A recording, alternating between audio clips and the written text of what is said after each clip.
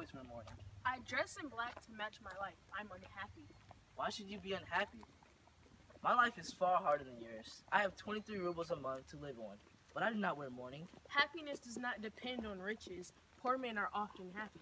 In theory, yes, but not in reality. Take me, for instance. My mother, my two sisters, my little brother, and I must all live somehow on a salary of 23 rubles a month. We have to drink, eat, I take it. You do nothing but moralize or else talk about money. To you, poverty is the greatest misfortune. I think it is a thousand times easier to go begging, but you know nothing about that. Hear the tragedy of my existence. Even when I was young, I always looked as if I was drunk and all. Women never liked me. Why is my sister out of temper? Why? Because she is jealous and bored.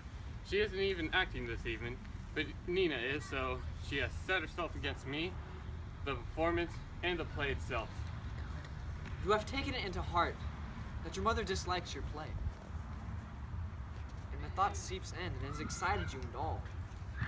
Keep calm. Your mother adores you. She loves me, she loves me not.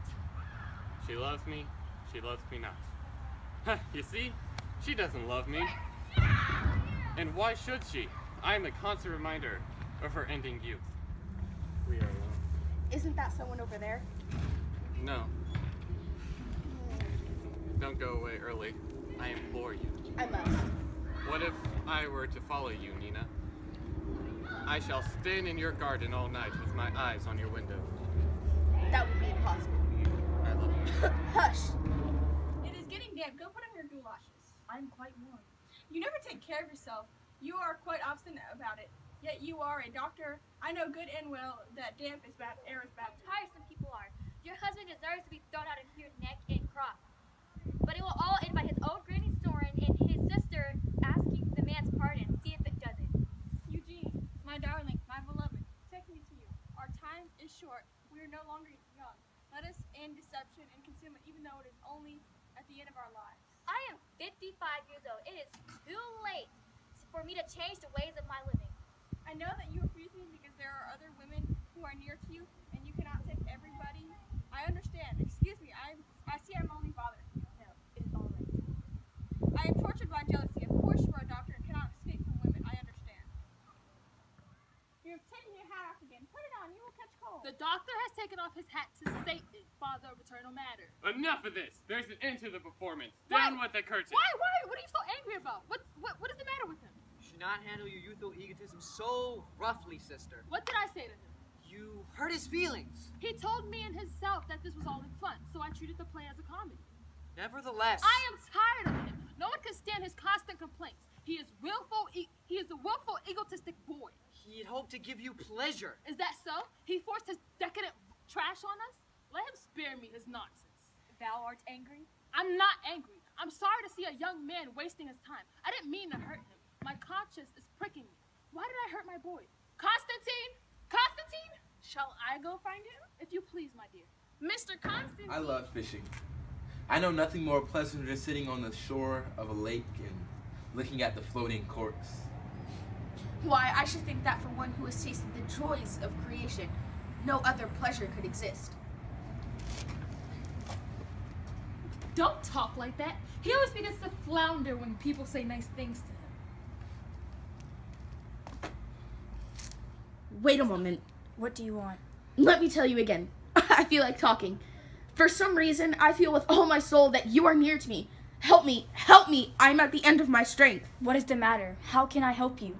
I am in agony. No one, no one can imagine how I suffer. I love Constantine. Oh, how excitable you all are! And how much love is the likes of spells. But what can I do for you, my child? What? What? Here, some flowers for you. Thank you.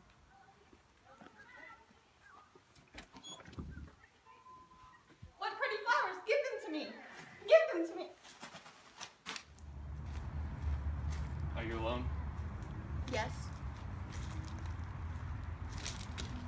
What do you mean by this? I was base enough to, today, to kill this gull. I lay it up to you. What is happening to you? So shall I soon in my own life. You have changed, and I have failed to recognize you. Is it odd or even? Even. No, it's odd. I only had one pea in my hand because I wanted to see if I would become an actress or not. If only someone could advise me. One cannot simply give at the time and advice like this. I, sh- I would like you to accept this little medallion of remembrance of me. I have had the initials engraved on it and scripts from the book Days and Nights. Such a beautiful present. Thank you. Think of me sometimes. Days and Nights, page 121, lines 11 and 12. Uh, think we need-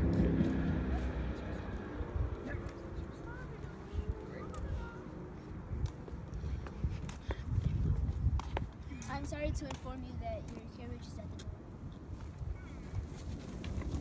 Funds for your journey, they are very sweet if you want to have something to nibble on. You are very kind, Molly. Goodbye, my dearie.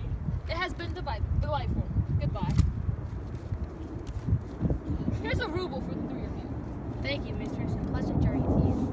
God bless you, mistress. Send us a line to cheer us up. Goodbye, sir. Where's Constantine? Tell him I'm star- starting.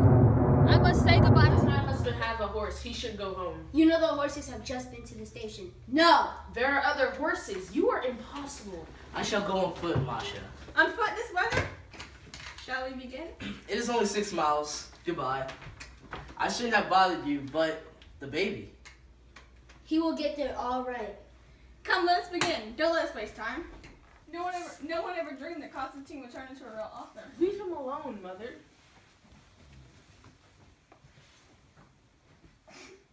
Now you have vexed him. I told you not to bother him. I'm so sorry for you, Masha. I shall forget it. I shall tear my passion out by the roots. I don't remember anything about it. Not a thing.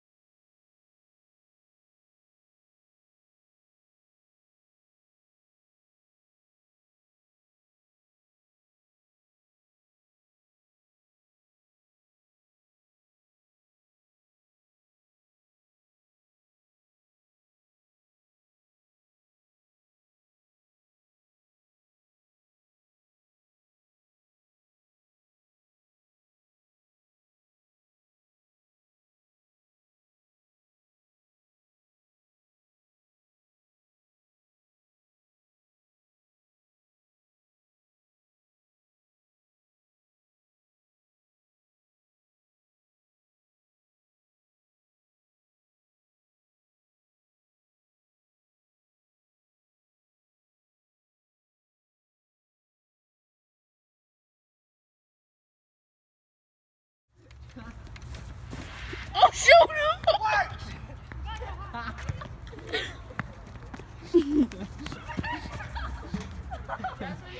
I'm pretty sure you done it before. What? Get, get him on your knees.